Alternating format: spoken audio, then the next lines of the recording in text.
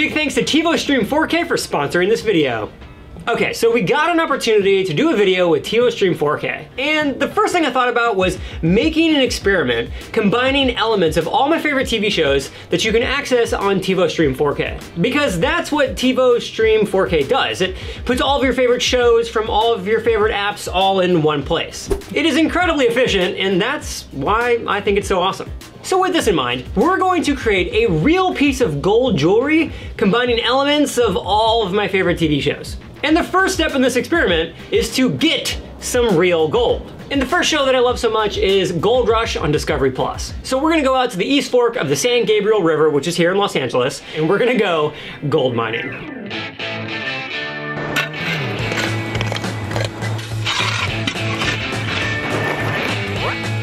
Part is setting up your sluice box right here. Now Stuart already did this. This is the, the thing that we put our raw material into. The water basically washes over all the junk that we don't want. Now I'm gonna show you the gold that we get out of here and we're gonna put it in a pan.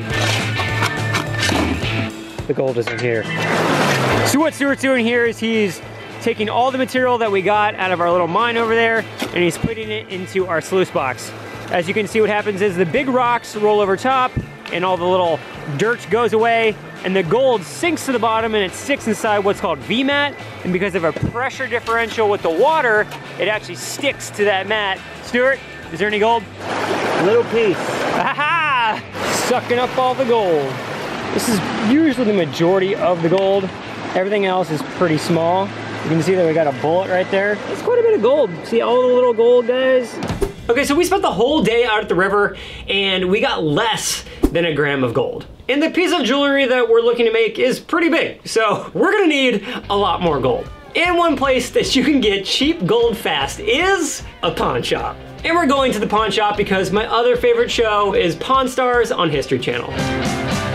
Okay, so we, our first stop was actually not the pawn shop, it was actually a, a Goodwill. And I wanted to go there because sometimes by random chance, you can get actual real gold, 18 karat gold, that ends up there. So we found these two pieces. One's actually sterling silver, we think. I want to take this to the pawn shop and see what they say, like what this is. And then if it is in fact valuable at all, even if it's 10 bucks, we'll apply that to our purchase at the pawn shop as a negotiating point. So it'll be kind of a nice little experiment within an experiment to see what we can get at the pawn shop.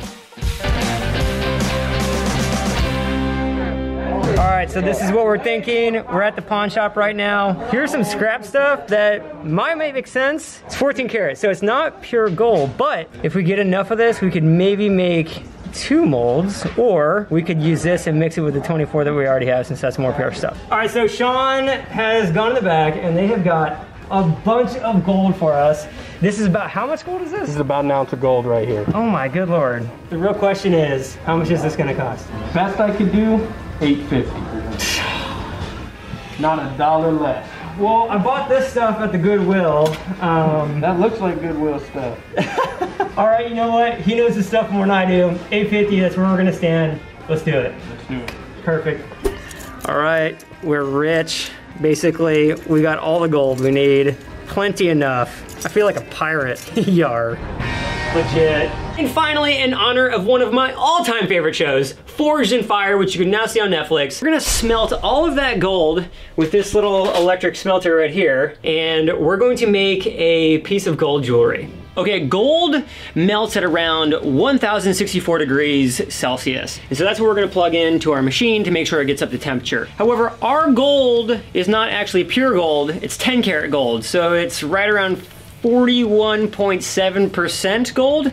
However, the gold that we mine for is probably closer to 24 karat. So we're still gonna plug in the higher number to make sure that we can melt all of the material that we have in order to actually get all the gold completely melted. Now because this entire experiment was inspired by TiVo Stream 4K, we're gonna make our piece of gold jewelry in the shape of the TiVo logo, which is so awesome. Now we had this graphite ingot custom made, which I think is almost as impressive as this entire experiment itself. We had this special piece of graphite CNC'd for us at Electro Tech Machining. Now this process is incredible to watch as the machine just cuts away the graphite so easily. Graphite gets stronger the hotter it gets, up to about 2500 degrees Celsius, which is why it's the perfect material for us to pour molten gold into. Safety, number one priority. First thing we are going to do.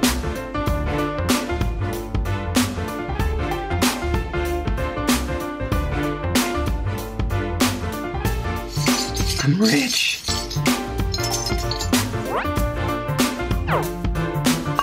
Now we've already tempered our graphite crucible. We brought it up to 300 degrees Celsius and then let it air cool. That's because you don't really want it to have this like shock the first time you ever use it and then it cracks. This is a way of sort of extending the life of the crucible itself. So we've already done that once, so it is time to melt this bad boy down.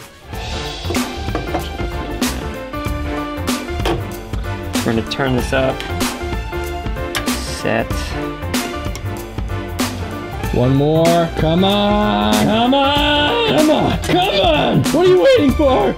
Ah! Oh wow. Oh my goodness. my gosh. Oh no! I didn't pour it right. Oh, it's all splotchy too.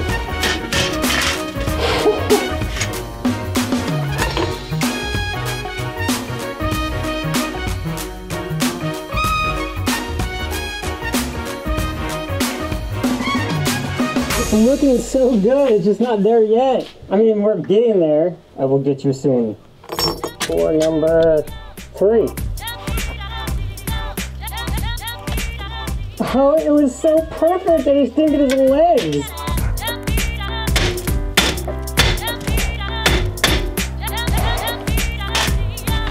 Oh man, it's so good. We just did not get his legs. Okay, the first pour, horrible. I didn't understand that the gold was going to pour so quickly and I overshot the actual mold itself. Second one, we got the face, which is pretty cool. Third one, we got the face and the antennas. It's looking great. The problem is we ran out of gold. We didn't have enough gold uh, for the legs. But I thought about this and I actually bought some extra gold online beforehand because I wasn't sure if we were actually gonna have enough. It's like what jewelers use when they make solid gold things like rings and earrings and that kind of stuff. So we're gonna add this to the mix and we're gonna get that full TiVo symbol.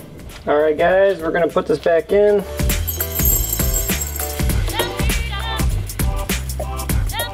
Oh no!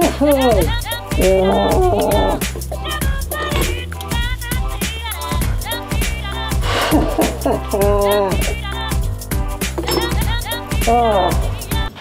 of a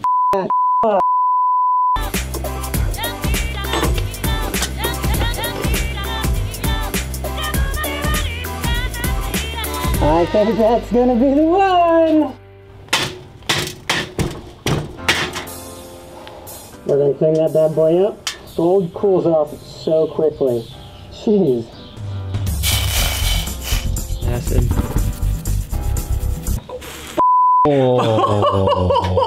Okay, there we go. We made a gold TiVo symbol. Now it doesn't have legs because we ran out of gold. We just didn't have any more gold to actually fill in this portion. I'm really stoked. I could make this into a pendant, into a necklace perhaps. I just think it's so great at my first attempt at goldsmithing that we got this. Now because we mixed the gold, it's probably closer to 14 karat at this point. Also, this is the most gold I've ever held in my life. This is, this is about $2,000 worth of gold. This whole video and this symbol was inspired by my favorite shows that you can access all in one place on TiVo Stream 4K. Let me know in the comment section what else we should make with gold. If you haven't yet, hit that subscribe button, and I'll see you really soon.